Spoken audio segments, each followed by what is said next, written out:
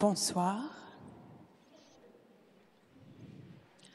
Vous êtes dans une salle qui pourrait être coupée de la lumière du jour et devenue une salle de projection. Pas une salle de cinéma, mais une salle de projection. D'ailleurs, une première image apparaît, sombre, celle d'un miroir rond, orné d'un entrelac de fleurs et de branches qui le fait ressembler à un soleil patiné. L'image est sombre, le miroir est photographié à contre-jour. Pourtant, à mesure que le regard s'y attarde, le miroir semble s'éclaircir, s'illuminer. Une seconde image apparaît, intrigante, morcelée. Elle contient en elle-même quatre autres images, pages d'un livre démantelé, punaisé dans une vitrine. La foule passe sans les voir, sans rien comprendre de la composition étrange. Un monastère russe sous la pluie, un visage d'homme coiffé d'une toque en fourrure de loup, l'incendie d'une plaine au crépuscule. Une troisième image noir et blanc. Elle vient des archives d'un observatoire. L'objet photographié, à une échelle imprécise, est un miroir que les postérieurs de quatre lions, courbés, maintiennent à une dizaine, une vingtaine de centimètres du sol. Le miroir est incliné, prêt à avaler tout ce qui s'y reflète, comme dans le poème de Sylvia Plath, Mirror. I am silver and exact.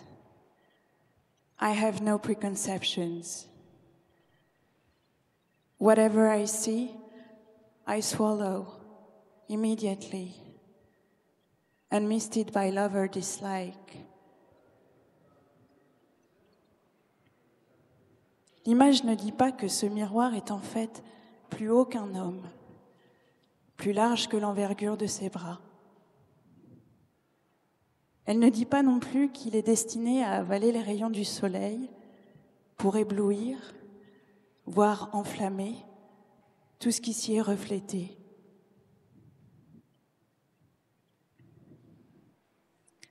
La quatrième image est le facsimilé d'un document imprimé à la typographie assez travaillée.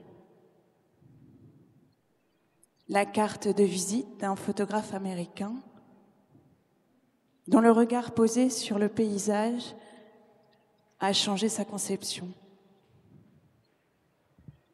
Alaska, Yosemite, Mammoth Trees, San Francisco, etc. Les lieux énumérés n'ont pas été choisis au hasard.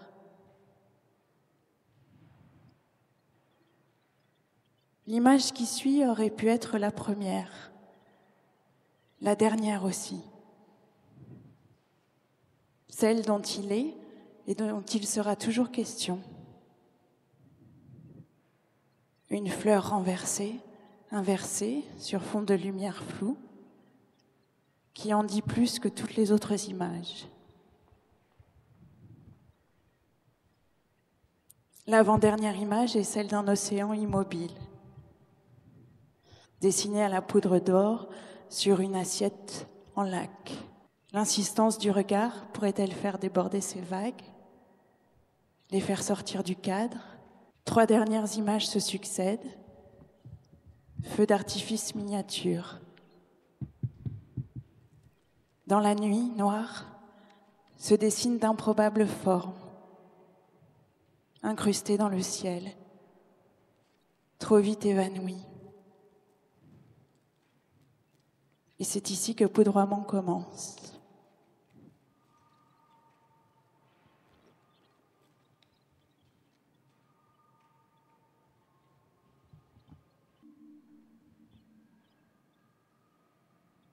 Le principe est simple, très simple même.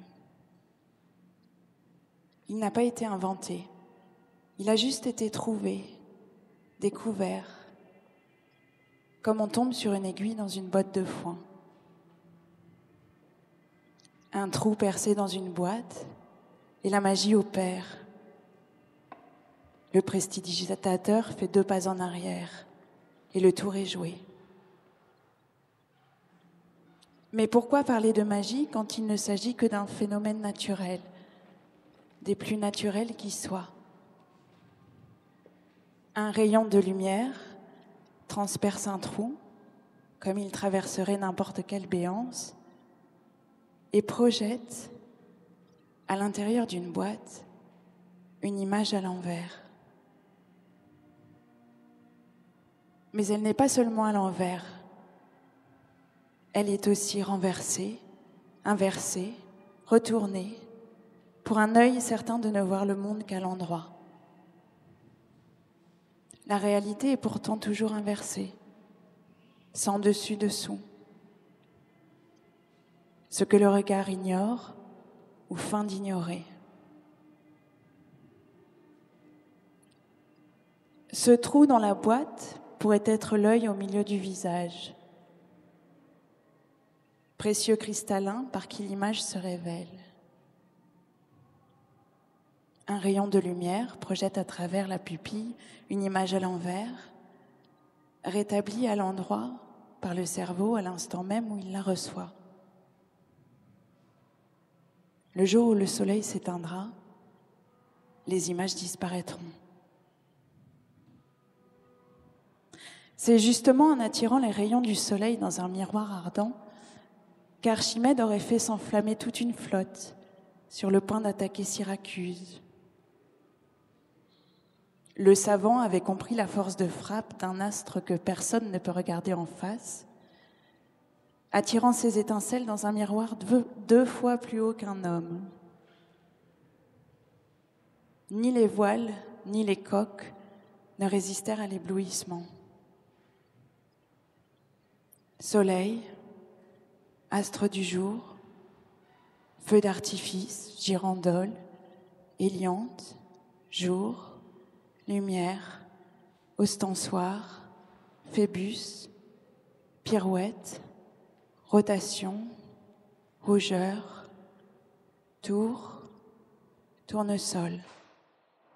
Mybridge fut d'abord libraire avant de devenir photographe toutes les couvertures de livres qui lui passaient entre les mains, tous les bons de commande, les papiers en tête, les factures manuscrites, lui donnèrent le tournis et l'idée de faire imprimer une carte de visite ou, gravée sur un papier jaune or, un appareil photo surmonté d'une paire d'ailes laissait jaillir son nom d'artiste, Hélios, le dieu du soleil.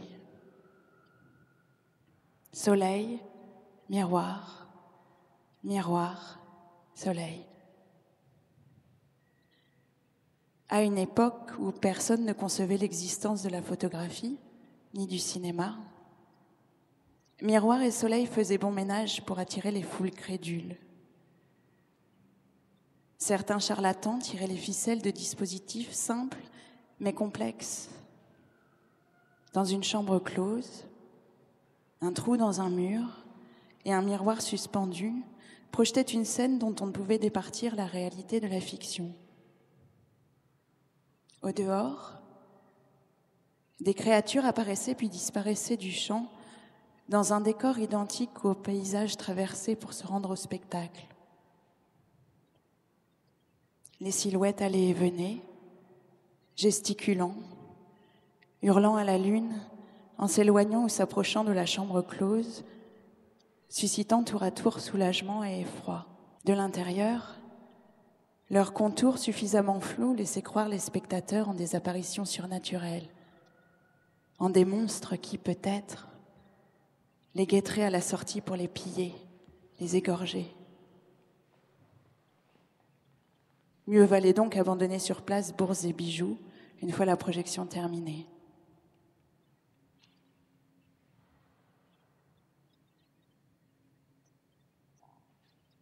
S'il y avait donc un trou percé dans le mur, face à vous, un rayon de soleil s'y glisserait pour projeter un paysage renversé dans votre dos. Un paysage? Quel paysage? Avec une rivière et une baie dans le lointain? Un paysage de campagne un peu vallonné, détrempé par un orage dont la foudre continuerait à s'abattre au hasard à plusieurs kilomètres à la ronde? Un paysage où l'œil chavirerait dans la hauteur d'herbes folles jalonnant une route ou un chemin, brutalement interrompu par l'entrée d'une ferme. Un paysage si parfait qu'on pourrait le croire figé sur papier si l'on entendait, au loin, l'écho d'aboiement et les clapotis d'un cours d'eau. La campagne est calme.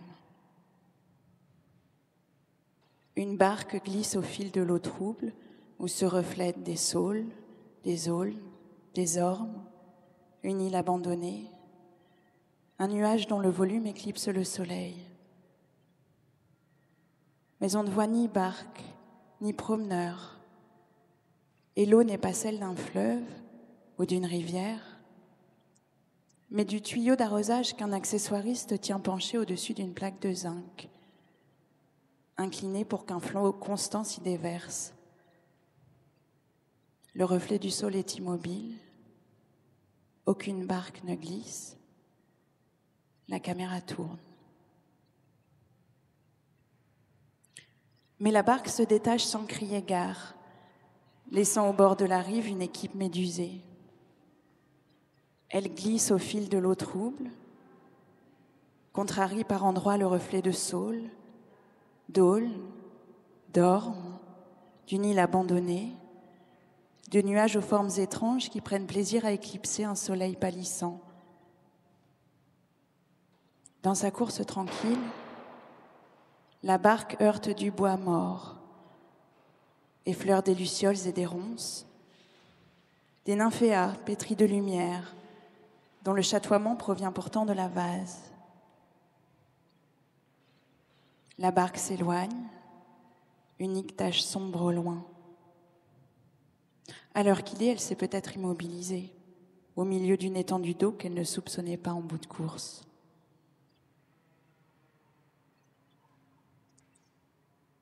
Nous sommes face à la mer, ou face au ciel,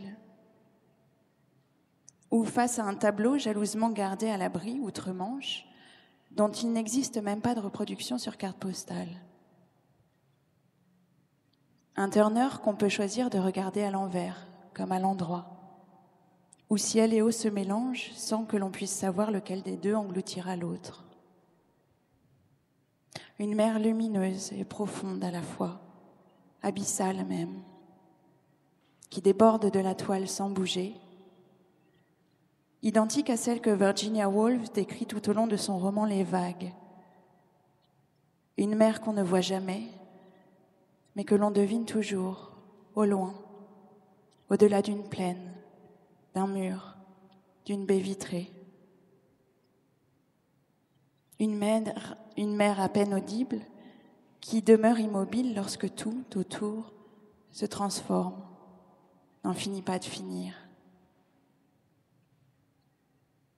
Qui, de l'horizon ou de l'écume, a vu Virginia Woolf en dernier lorsque, tout habillée, elle s'est fondue dans un bras de la rivière Rose, les poches lestées de pierre qu'elle avait eu tant de mal à soulever?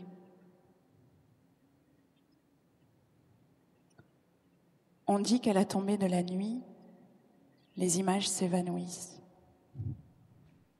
Elle continue pourtant invisibles, à imprégner tout ce qui les entoure de leurs mouvements ralentis, de leurs sons éloignés, de leur étrange apesanteur pour ne s'effacer, peut-être, qu'au moment où les cils se rejoignent.